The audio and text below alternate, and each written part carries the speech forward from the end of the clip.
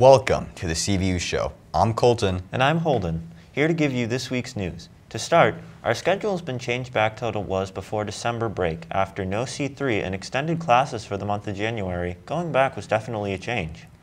We go now to our interviewing team, who has gathered some students' opinions on the new old schedule. Now with C3 back on for the month of February, how are you really feeling now that we have C3 again? We have a little time. It's nice. I get to ball up, you know. Ball up. Yeah, Pretty yeah. bad at basketball, but But we're cool. Basketball is pretty awesome. Does he suck at basketball? Be honest. Yeah, I do. I Hey, it's okay. We were all there once, but now having this time and playing like in C3, we can actually get better. We can learn something. So Yeah. that's really awesome, bro. Nice. I appreciate you guys. I mean, like C3. Uh, usually I go to uh, C3 with my friends, which is pretty much chilling with Hot Wheels. I'm sure you've heard of that before. Chilling with Hot Wheels. Is it the best C3? Oh yeah, I'd say that. So how are you feeling about C3 being back on? You know, had no time. Um, I mean, I kind of like I kind of like the clubs, but it was also nice to spend it in advisory because I like my advisory. Spend that in advisory. But I don't mind. I feel that. I personally like the clubs. I hear that. I hear that. So, honestly, what clubs do you like truly enjoy? Like even most fun? Like worth the time, you know? Um, I really like Bring Change to Mind. That's one of my favorites. Bring Change to mind. Yeah. Cool. Yeah. Um, I like creating stronger communities. That's I hear that. one. I hear that. Be supportive of that. Yeah. Yeah, and Cancer Awareness Club. For sure. Yeah. That's really important. How are you feeling about C3s, like having this time during the end of the day, 20 minutes? I'm very happy that it's back. Very glad that it's there. And Yeah. Very glad. How are you feeling about the C3 time? You know? Um, it's okay. I feel like it's not that long. It's like not long enough to actually do anything though. I hear that. Um, not long enough, not enough time. I hear that. So, the options of things to do, like, do you think it's really an extensive list? Do you think the list should be bigger? Is it is it all right? Like, there's just not really interesting stuff to do. Like, what do you think? I think the list is pretty good. Um, there's not a lot of stuff that personally stands out to me that I want to sign up for. I mean, I do have the opportunity to like make up a club though if I wanted to, but I think all the clubs that we have right now are really good for other people to connect and see other people throughout the day. It gives you a, better chance to see your friends. In other news, CVU is implementing a new way in which students can catch up on work called Harbor Days. One white day and one red day, students will have the opportunity to come into school and do missing work or catch up on classes with their teachers. Students who are not requested by their teachers will not be required to come to school. But if you're not requested and would like to come in, be sure to speak with your teacher. We now have an interview with Carly Rivard for more information of why CVU decided to give students this opportunity. Thank you for coming in and welcome to the CVU show. Thank you. Uh, would you like to start by introducing yourself? What's your role here at CVU? Sure. My name is Carly Revard. I am the personalized learning coordinator here at CVU.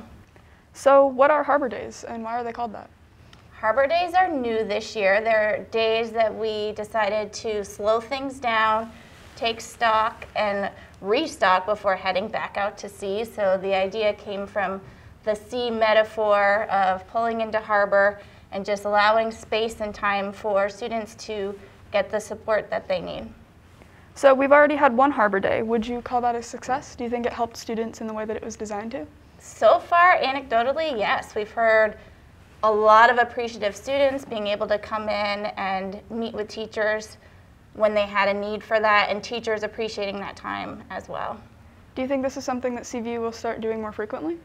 I think so, yeah. I think um, we're hoping that in the future we'll be able to make time for these days at a regular interval throughout the year.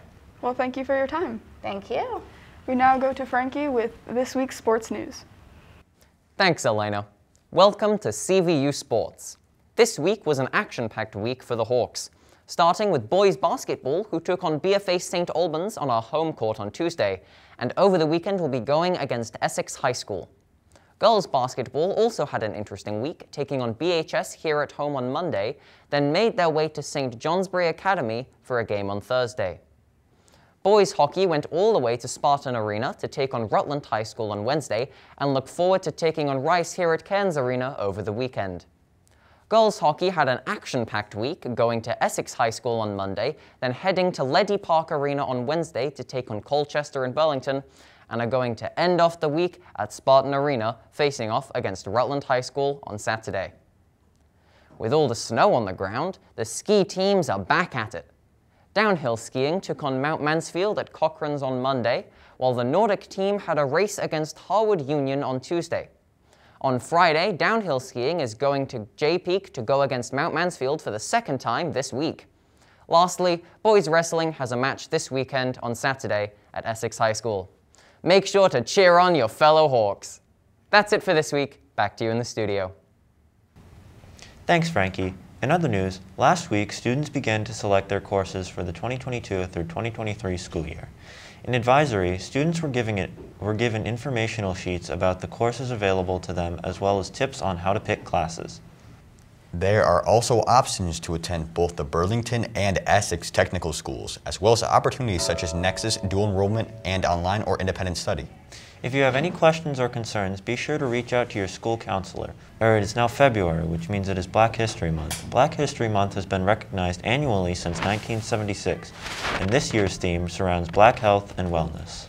For more information on this historically important month, be sure to check the library. There you'll find a wide variety of books all about black history. And on that note, we're out of time here in the studio.